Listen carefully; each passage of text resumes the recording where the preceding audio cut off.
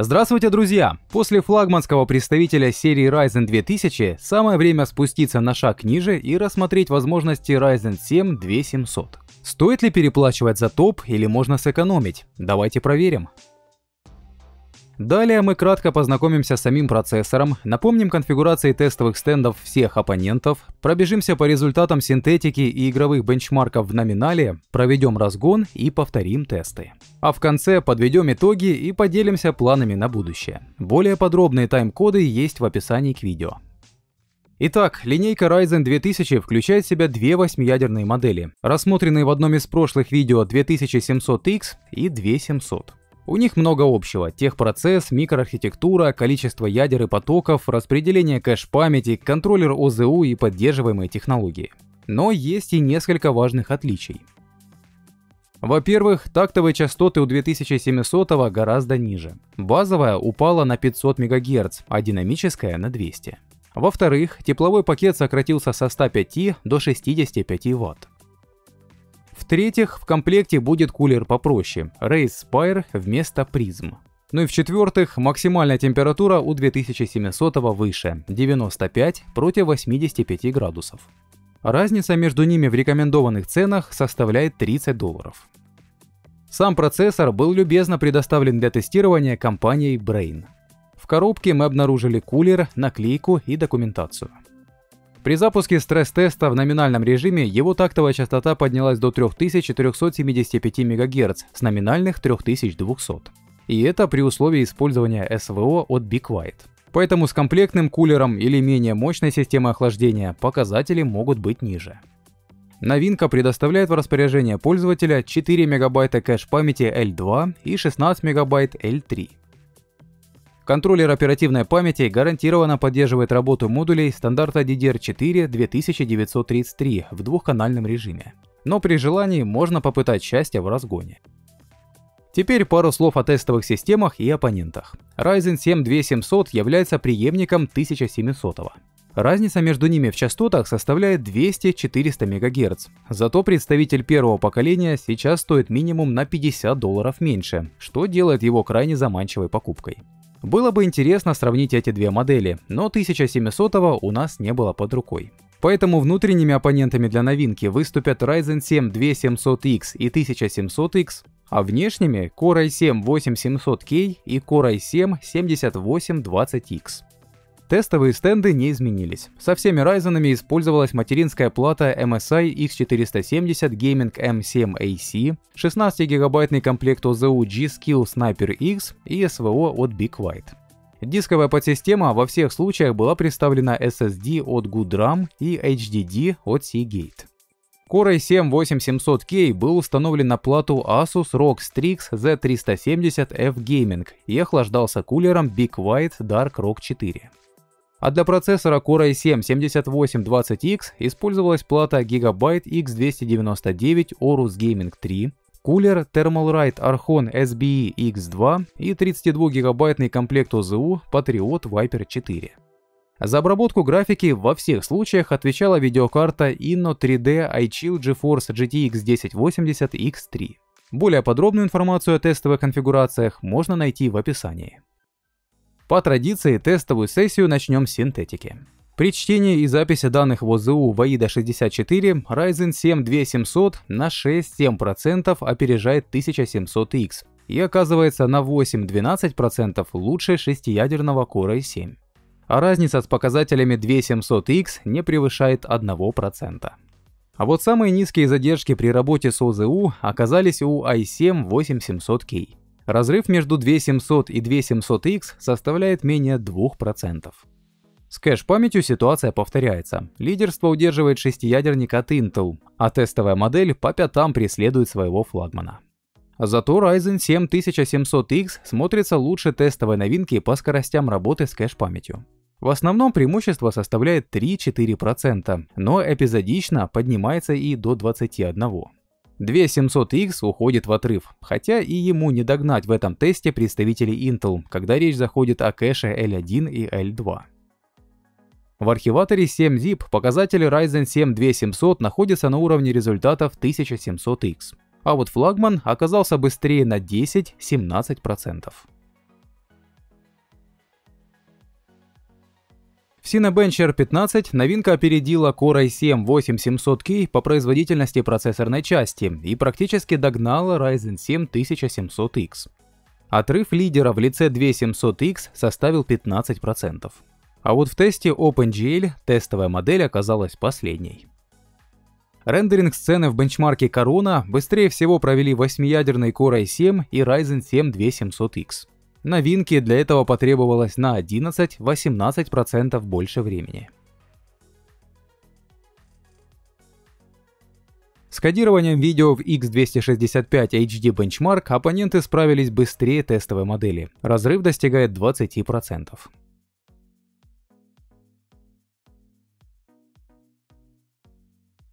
И завершаем обзор синтетики в Real Bench, где Ryzen 7 2700 находится приблизительно на уровне 1700X. Лидерство по общему зачету удерживает флагман второго поколения AMD Ryzen. Его преимущество составило 13%. В целом, результаты новинки и представителя первого поколения находятся на одном уровне. i7 8700K обходит ее на 8%, топовый Ryzen на 11%, а 8-ядерный Core i7 на 25%. Давайте посмотрим, какой ситуация будет в игровых бенчмарках. В World of Tanks and Core при Full HD и Ultra пресете новинка смогла обойти представителя первого поколения на 3,9% и 8-ядерный Core i7 на 7,14%. Повторить этот подвиг с топовым Ryzen и Coffee Lake ей оказалось не под силу.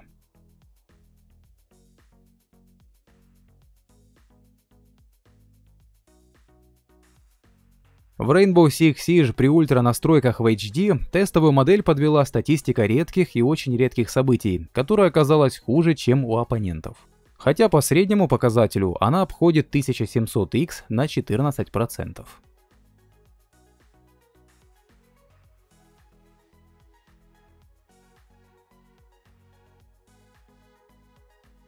В игре Watch Dogs 2 при ультра настройках в HD по средней скорости 2700 оказался даже чуть быстрее флагмана.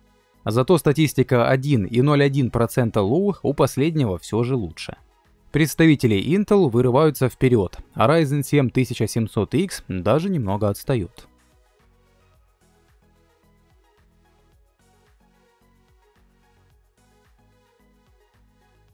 Сетевой режим Battlefield 1 при Full HD и ультра настройках выводит в лидеры i7 8700K. Тестовая модель находится на уровне 1700X, если бы не отставание по статистике очень редких событий. А вот перевес флагмана достигает 66%, хотя по среднему FPS и показателю 1% low имеем 8-16% разницы.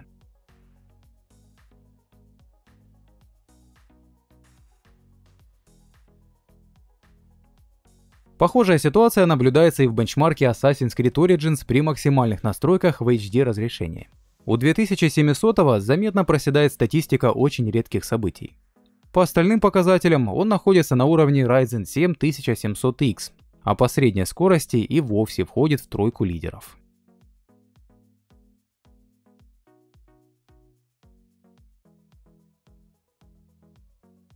А вот Far Cry 5 при аналогичных настройках никаких провалов у тестовой модели нет, поэтому ее результаты сопоставимы с 7820X и 1700X. Топовый Ryzen вырывается вперед на 9-17%, а показатели 8700K еще выше.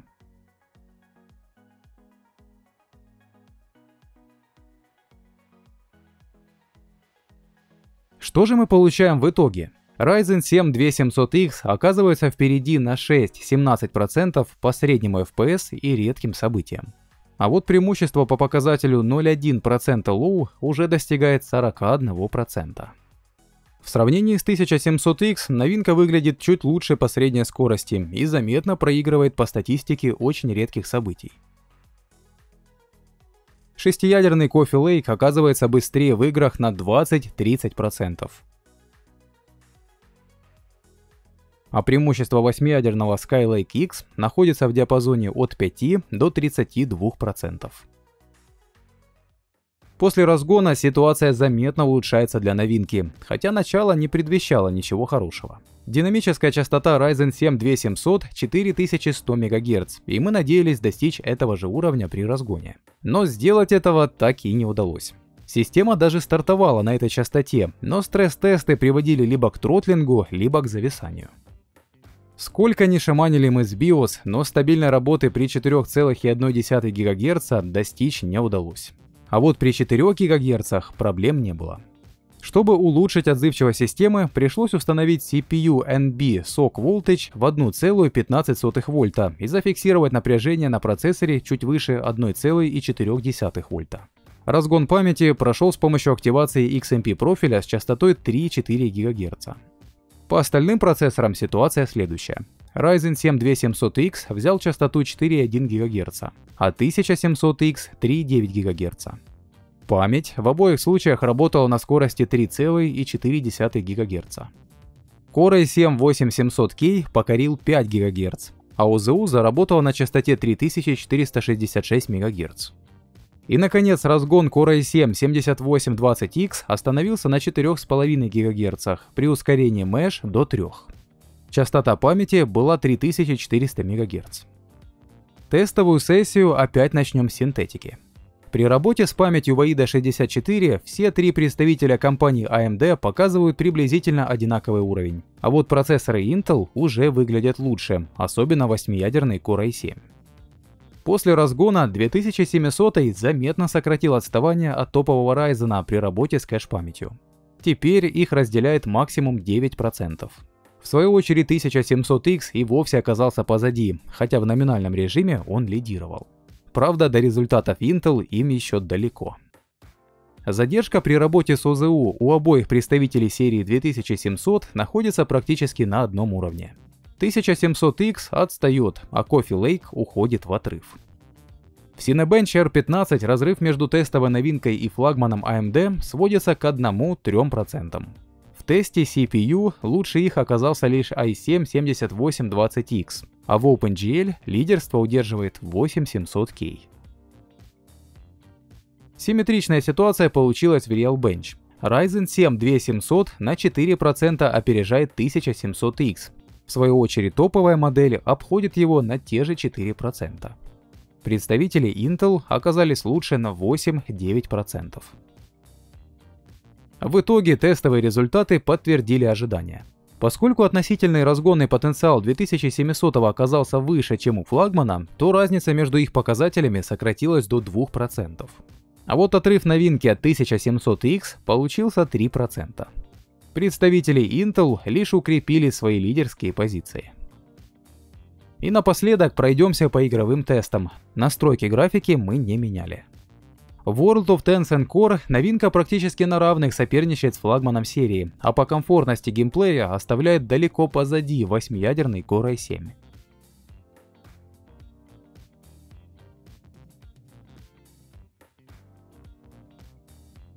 Думаете, разгон изменил ситуацию в Rainbow Six Siege? Как бы не так. Опять показатель очень редких событий тянет новинку вниз. Хотя по редким событиям и особенно по среднему фреймрейту она держится молодцом, успешно соперничая даже с 8700K.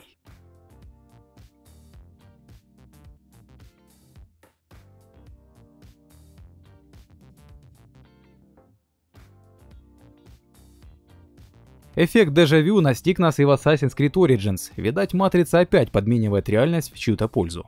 В итоге 35 FPS в графе 0,1% low выглядит крайне неубедительно на фоне конкурентных 50-60 кадров в секунду. Хотя по среднему FPS ситуация вполне приличная.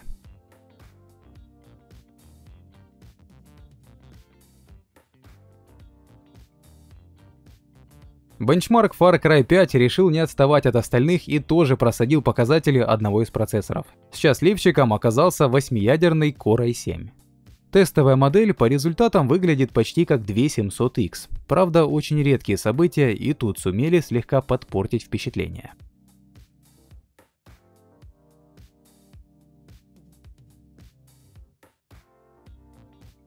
По итогам геймплейного теста мы видим, что разгон действительно пошел на пользу 2700, ведь его показатели улучшились на 13-20%. Разрыв между представителями Ryzen 7 второго поколения сокращается до 3-6% по среднему фреймрейту и редким событиям. По очень редким событиям получаем 22% бонус в пользу флагмана. Новинка оказалась даже слегка лучше 1700X, но только не по показателю 0,1% low. А вот 8700K не оставил ей ни единого шанса. Его преимущество составляет 20-40%. Восьмиядерный Skylake X также в целом опережает 2700 на 8-10%. Лишь статистика редких событий у него хуже. Итак, следует ли переплачивать за Ryzen 7 2700X или можно сэкономить? Судите сами. Средняя стоимость флагмана на отечественном рынке на 17% выше. За это вы получаете в среднем 13% бонус в синтетике и более комфортный геймплей. 6-17% по среднему фреймрейту и редким событиям и плюс 40% по очень редким событиям. Поэтому если вы не планируете заниматься разгоном и разница в цене для вас не критичная, то лучше доплатить. Но если система покупается с прицелом на разгон, тогда интереснее выглядит 2700. Да, он не дотягивает до показателей флагмана, но разрыв в основном будет небольшим. Однако главным конкурентом для новых Ryzen сейчас являются их предшественники. Средняя цена 8-ядерного 1700X на 60 долларов ниже, чем у 2700. А в синтетике и играх она выглядит как минимум не хуже, к тому же неплохо поддается разгону. Поэтому, если вы решили купить восьмиядерник, то советуем присмотреться и к первому поколению Ryzen. BIOS для них уже допилили, а небольшой ручной разгон можно провести даже в автоматическом режиме. У многих материнских плат есть соответствующая функция. На этом все. В одном из следующих видео мы исследуем возможности шестиядерного Ryzen 5 2600X. Лайки, комментарии, подписка и репосты этого и других наших обзоров ускорит выход данного видео. Поэтому надеемся на вашу активность. Всего вам хорошего, друзья, и до новых встреч!